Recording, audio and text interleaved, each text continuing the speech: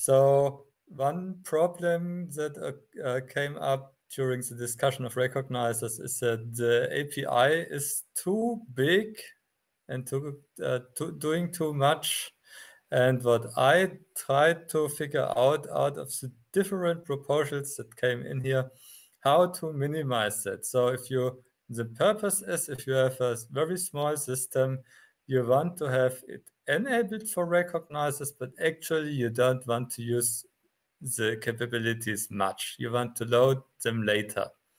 And what I don't want to put in here is just one big hook uh, where you replace a static uh, outer interpreter with a recognizer outer interpreter, but an API that you can extend upon. So a number of proposals that uh, unify and make things easier here, uh, like having words that can execute themselves. So the uh, idea is that a recognizer type is executable to dispatch the methods themselves. Uh, the recognizer sequence is executable like Anton proposed. That's the first one is Andrew Haley proposed. And the system's forth recognizer should become a deferred word to plug in the new recognizer sequence. That is changing the API as we have now. So what this uh, recognizer type executable to dispatch method is doing is it replaces one poor man's dispatch with another poor man's dispatch.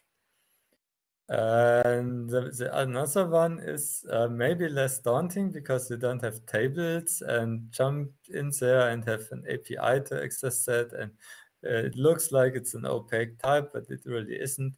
And now it, this becomes more flexible. Uh, the core principle stays the same, so sh you should not uh, write state smart words. And if you have legacy code like this here, and you still use your state inside your state fetch and if compile comma else executes then then you didn't really use the capability of the recognizers uh, to get rid of this evil code. But if your code is really too evil and you can't maintain it otherwise, maybe you have to stick to that in between. So the proposal of the API is uh, the recognizer takes a string and returns a rec type plus additional data on the stack as usual. And the rec type is an XT, so it's a subtype of XT with a def defined stack effect. And the state is documented. That is zero for interpretation, minus one for compilation as now, and minus 2 for postpone. And this query is because I wanted to have a star here and I used the Unicode star and uh, no, it won't let me. It won't let me trick this.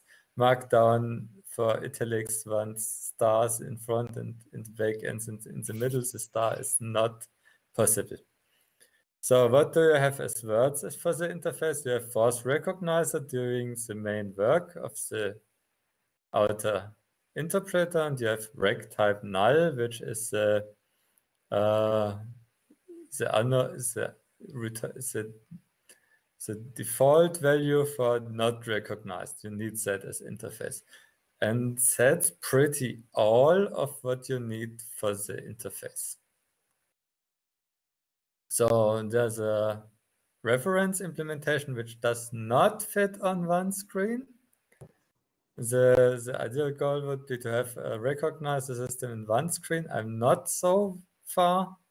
So this implements everything, including the outer interpreter. So the outer interpreter is this query stack for stack empty checking, parse name, dup while, forth recognizer, and then comes the dispatching, a state fetch, swap, execute, and repeat until the parse name returns zero. There's a drop missing, but this is sketching it up. So uh, we need in the standard interpreter, we need two rec types and two recognizers. So we have a rec, the rec type null is the standard implementation. It just does a minus 13 throw. Uh, the rec type NT checks on the state and does name to interpret, execute in interpretation, name to compile, execute in compilation, and name to compile swap lit comma and compile comma in postpone. And for the rest, there could be error handling or just nothing.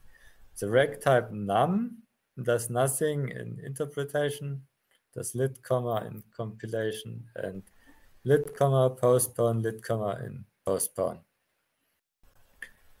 Uh, here's a rec NT with the unification from Anton is just calling forth word list, but we are not so far, so we have find name in need to convert the result to a rec type NT or rec type null. The difference between, you see, between the current recognizer proposal is that you have to bracket tick these types because they are executable. The rec num is a very simplistic uh, to number conversion. It works only on integers with no base prefix. Uh, you also have to do this to number. If it returns a length of zeros, and it's successful, otherwise not. And you have no rec sequence, so you have to write the sequence by hand. And then you can plug in the minimal recognizer into the forth recognizer and have a very simplistic, very minimal system that has recognizes not just its capability, but the interface to it. You can expand on this, you can add a rec uh, sequence where you have uh, a get rec sequence and a set rec sequence as the defining word, as Anton described you can add a better rec type num, uh, a better num recognizer. This things is what you can add later, but if in your small kernel, you have only a few lines of code to define everything that's needed to have a recognizer defined thing. And what Klaus said that this forth recognizer should, of course, not change when you uh, twiddle this uh, uh, brackets for the, with the state.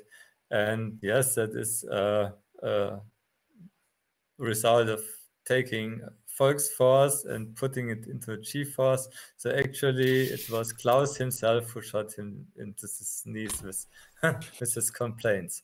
But mm-hmm. uh, this forth recognizer here, you, this is the main hook where you can change the behavior of the system. And it's return value is defined and it's not just swap out the interpret. It's it's a defined interface, it's a recognizer. Mm -hmm. So I hope that this proposal can satisfy the people who say it's doing too much and also the people say it's doing too little because you can build upon this. It's a building, it's a foundation to build upon. Please implement your recognizer stacks on top of this and add on this recognizer stacks as you want, like plus uh, recognizer, minus recognizer, something like that, if you if you like to. And the building block is small and can fit on an embedded system. Mm-hmm. There's no problem. Mm-hmm.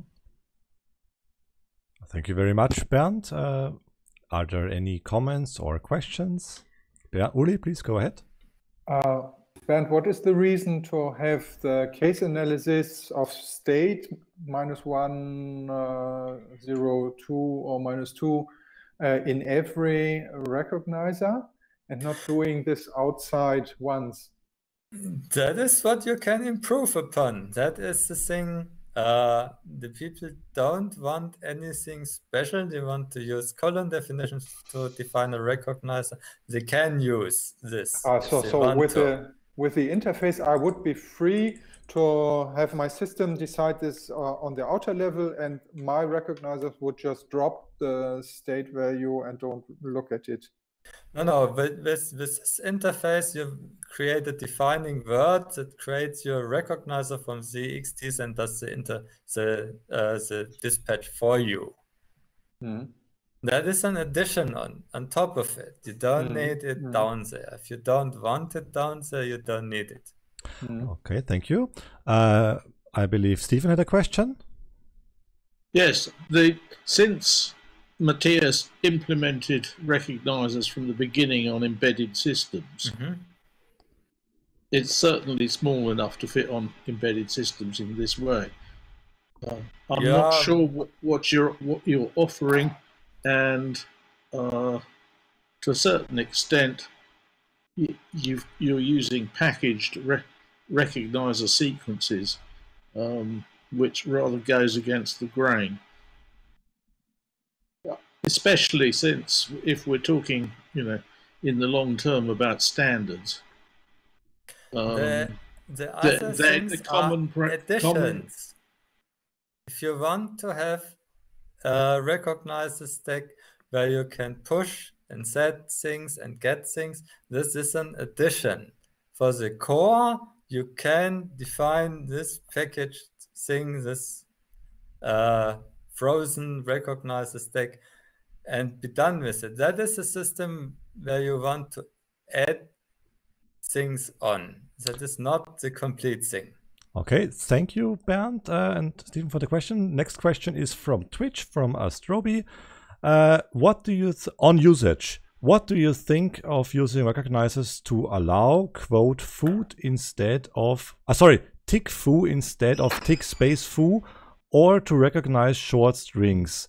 And he makes an example of uh, quote foo quote without a space instead of Mhm. quote space foo quote. Please go ahead, Bernd. Yeah, I'm I'm fine with that. I'm fine with that. Add on that. That is that is the point of the recognizers. You can add things like this. Mm -hmm. Yeah, it makes it much allows you to basically change the syntax to your pleasing and the Yes. syntax to better. Uh, Anton, please go ahead. Yeah, so what I, I'm not convinced that that this is actually smaller than than the other one. So maybe uh, in order to make it more convincing, you should have a, a comparison or Mhm. something like that. Side by side. Uh, maybe, yeah. I mean, that would be ideal, but it's work. Okay, uh, Brad Rodriguez, do you have a question or are you just typing anything else? I can see you're typing.